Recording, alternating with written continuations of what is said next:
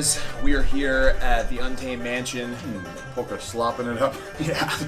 Uh, and uh, we decided to eat some delicious breakfast, and what we're gonna do is just do a Q&A. So we uh, put on Alan's Instagram, Untamed Strength, uh, just some questions you guys wanted to be answered. So we're gonna eat and uh, just kind of spit back and forth some answers to your questions, while Polka sits here and looks at us in disgust.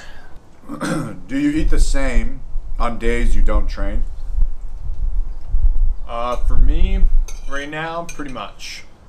Um, if I were to be cutting, I would probably eat less on days that I'm not training. But for right now, I'm training for Strongman Nationals, which is coming up soon. So, trying to make sure that my body's fueled, and uh, every day I've just been trying to get in a good amount of calories to feel good and perform as optimally as possible.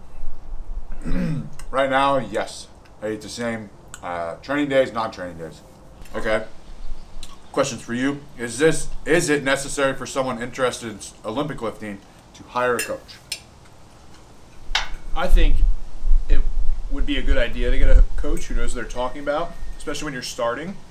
Because if you're training on your own and you are making, uh, you know, you're doing the wrong form over and over again, it takes a lot more time, I would say, to get out of a bad habit than just start off by making a good one. So I always recommend if you guys can get a coach who knows what they're talking about, obviously has the background in it, um, and have them give you a, their eyes instead of just trying to do it on your own or, or not seeing uh, what a coach would probably see. Favorite Adam Sandler movie? Uh, I can't even like think of it. I don't know. Big Daddy. Big Daddy? Yeah. That one's not. It's more like uh, just a classic. I feel like. What, what's yours? Um, I like uh, The Water Boy. Oh And, God, yeah. uh, there you go. Yeah, That's got to be number one. Billy Right. Madison. Probably my two top Adam Sandler movies. Yeah, change my answer. Those two, definitely. What Mama don't know won't hurt her. What would you say is the most important criteria that defines a good coach? His strength, knowledge, communication, etc. I think being a good coach is many facets, um, but I think the ability to understand and communicate with people uh, is a big one. You could be the smartest coach in the world, but if you can't relay your message the right way to the right person, you're never going to be able to get the, the outcome that you want. So I would say what I look for in a good coach is being able to communicate with people, understand the person, and how to communicate them best. Yeah, I agree. I think that uh, uh, further, I think a coach, if it's not just a strength training coach, but like a powerlifting coach or a strongman coach, should have some experience uh, competing in that sport. That should go without saying, but uh, I've you know heard cases where they've never done powerlifting meets. Um, not that they have to be you know like world class, but uh, to guide someone through a powerlifting meet or prepping for it or a strongman competition, it's helpful if they've done it themselves. I got sick for three weeks. How do I get back into training?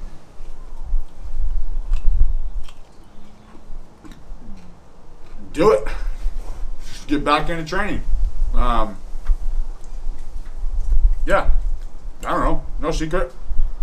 I wouldn't like, uh, you know, if you're on a program, I wouldn't like pick up where you're supposed to be. I would probably go back three weeks and start there. And if you're using RPE, as long as the intensity or the effort's there, the RPE, uh, you're good to go. So I don't think anything, you should really change anything. What is the most difficult thing about running a gym? You can take that however you want. I would say for me personally is, I mean, I know this is probably cliche, but just doing everything. You know, like there's so much more than I think most people just think, oh, I get to hang out in the gym all day. Like that's that's the life and the dream. But like we've been talking about, especially on the podcast, there there are things you have to address with the members. You got to do the social media. You got to do the bills. You got to clean the gym. So you wear all the hats when you run a business. Um, and you think you probably know that until you actually are running it. That it's kind of a big deal on all the things that you go into it. But it's it's it's hard. But I mean, I, I love the challenge. So it's you learn a lot. Uh, but I'd say I think that's probably one of the biggest challenges is just constantly doing it all and trying to make it all work uh, the best you can. I think that the hardest thing, maybe not right now, but since owning a gym, is uh, getting people or convincing people to sign up, to actually like buy into it. That's the hardest thing. Um, why should they go to your gym and not somewhere else? Um, it's kind of easy when you know to create a gym or to it's easy to buy equipment if you have the money, um, and it's easy to like show up. It's easy to train people. It's you. It's kind of difficult to convince someone that they need to sign up, or just someone that comes in uh, out of the blue, taking a peek around. It's that's that was the biggest challenge for me. I guess being a salesman and trying to get them to actually sign up. So we have, I would say, a numerous amount of pain questions. This could be low back pain, knee pain, elbow pain, face pain. Alan, what would be your tip to the general pain consensus with what's going on? How should people handle their pain? I posted a video that Austin Baraki did uh, at one of his seminars. I just put the camera up and recorded it. He talks about the four steps to managing pain. So go check out that video. Um, but you would make adjustments, continue training, but make small adjustments, such as changing the weight on the bar, uh, changing the range of motion, possibly changing the exercise from a low bar squat to a high bar squat to a front squat. Um, and then uh, the fourth one, Joey, quiz. What's the fourth one? When you said regulate the int- or manage the intensity, uh, change range of motion, exercise selection. Hmm. Uh, don't catastrophize or catastrophize the. Yeah. I'm asking you because I don't remember. Ah. I think the first one was uh, don't freak out. no. The first one, don't freak out. Reassurance. I think it was the first one. Uh, remain positive. Yeah, don't freak out. Um, but yeah, check out the video. Okay, this one's for you. What are the major setup differences of cleans and deadlifts? Typically, for uh, the clean, your hips are going to be lower, so your knees are going to be a little bit more forward in relation to your elbows on the with your hands on the bar. Um, not all Olympic lifters, but say a good majority of Olympic lifters have a wider grip on the barbell than they would if they were doing a deadlift. Um, you have to remember in a clean, you're you're jumping where and leaving the ground. You know, sometimes where in a deadlift you're not. Um, so it's more of a jump sort of motion than it would be just a uh, hinge or pull.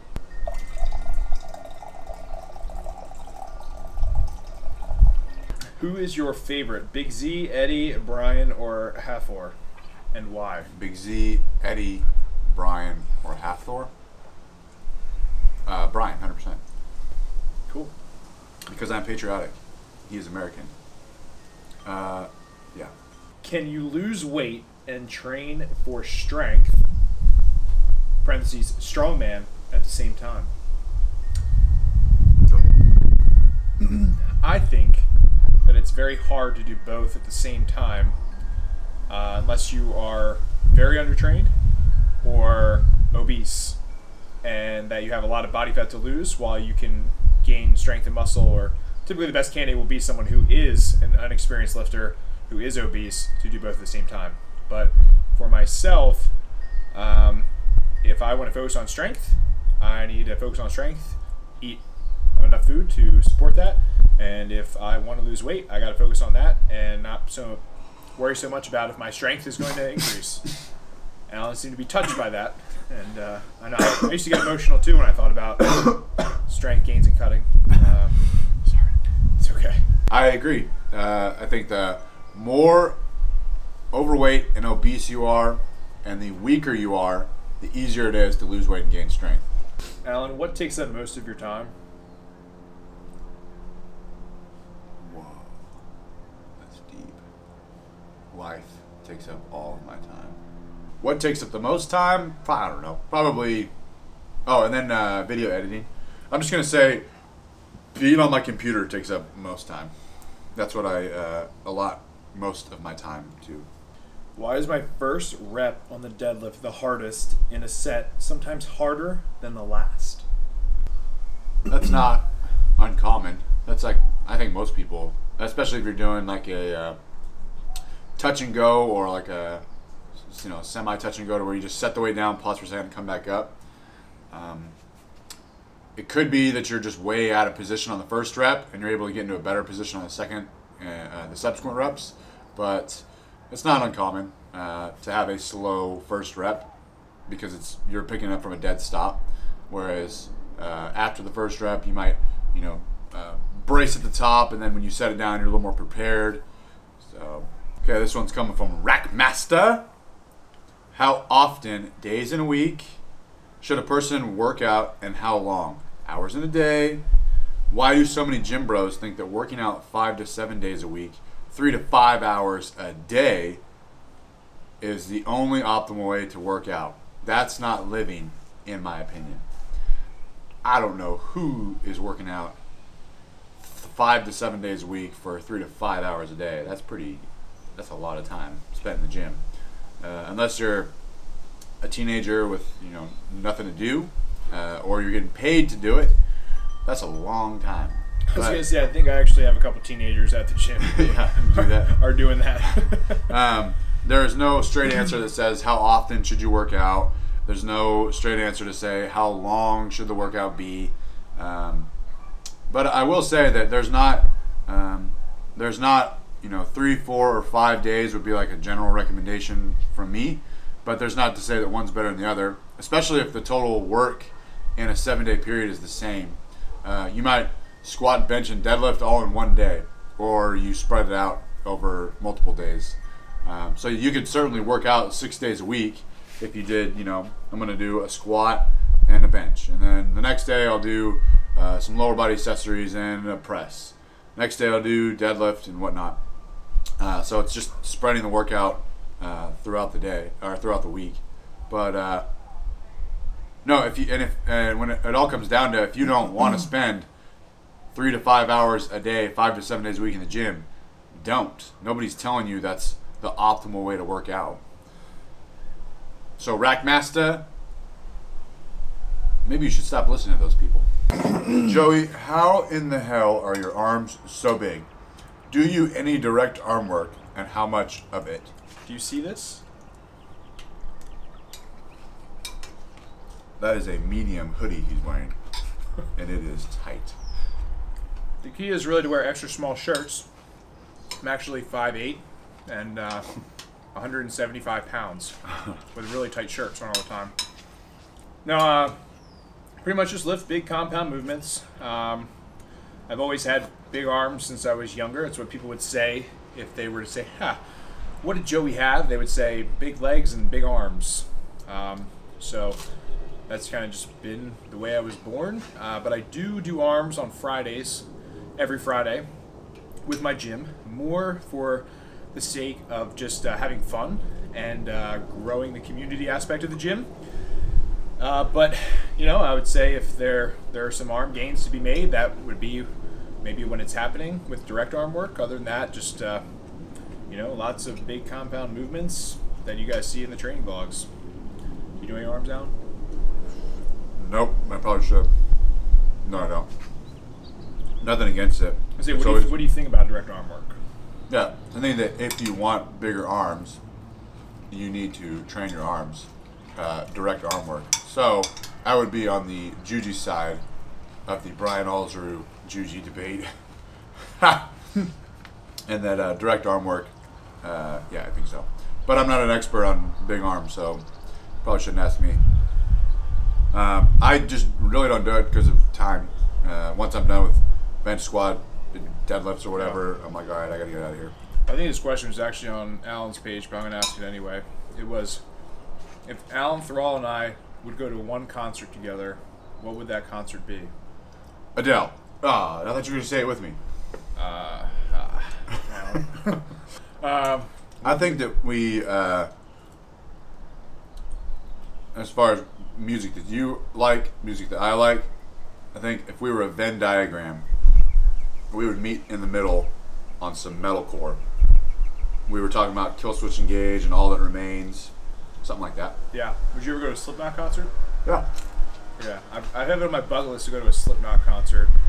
I feel like that would be a lot of fun.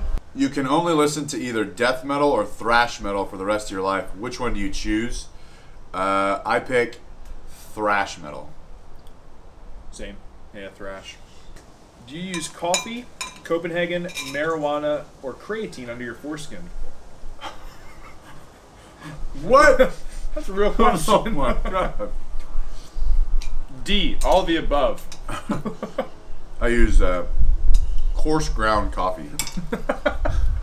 What's your favorite deadlift variation? Personally.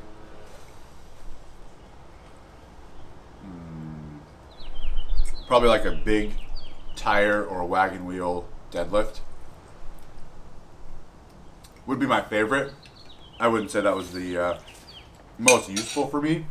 Probably a uh, probably a pause deadlift would be most useful, but it's kind of boring. Um, so either a wa- it's the extreme, either a wagon wheel deadlift, uh, like below the knee, um, more so than rack pulls. I'm not crazy about rack pulls, uh, or I actually like to do a high deficit, like one and a half to three inches. Um, I've been enjoying that lately. Yeah, so there you guys have it. That's our uh, breakfast Q and A. Just trying to make the world a stronger and better place. Um, really pumped about all the videos that have come out. I don't know where this video is going to be in the line of what's come out, but make sure you are subscribed to Mr. Thrall's channel. Follow him on the Instagram, Untamed Strength, and uh, it's been a blast. So we will see you next time.